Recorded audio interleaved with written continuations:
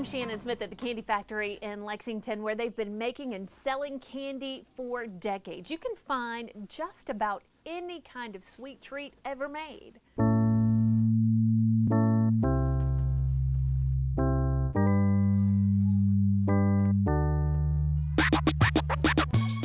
At the Candy Factory in Lexington, you can find almost every kind of confection ever created, from A Abba Zaba is made out in the Midwest. That was not something from the South. to Z. We have a Zagnut bar that people find hard to find. Even adults feel like a kid in this candy store. Well, they turn into children too. You know, it's it's it's really funny. taking a sweet step back in time on the old creaky floors.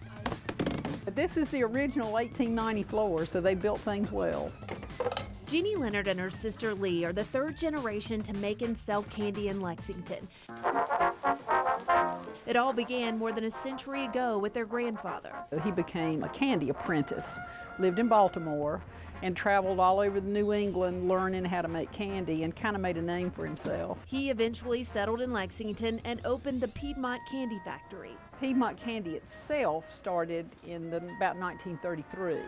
Uh, we go back to 1890 with our candy heritage. Jeannie's dad took over and added the candy store on Main Street in the 1970s. It, he made about 2,000 pounds a day. Today, Jeannie runs this store and her sister Lee makes the homemade fudge. That's the fudge maker eating that piece of peppermint candy over there. We found Lee in the back whipping up a batch of pumpkin fudge. 18 pounds of fudge per week, just pumpkin. She makes 40 pounds each week in 16 different flavors. I always like to think my dad would be happy to see that somebody in the family's still making candy. Customers also come here for a taste of their childhood. Well, that's the comment we hear the most, is I have not seen this since I was a little girl. I don't know why, because, you know, it's still being made.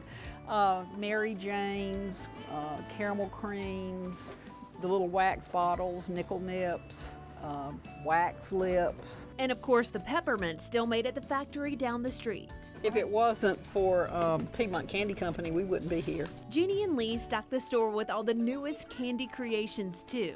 My sisters and I go to candy shows all over the country, and you know, it's a hard job, but somebody's got to taste the candy, and if it's good, we buy it. I tried one of the newest treats here, the Krispy Kreme Donut Jelly Bean. Who knew that they had a Krispy Kreme flavored jelly bean? The sisters say sugar runs in their family, It's in my blood, it really is. and they hope to share that for generations to come.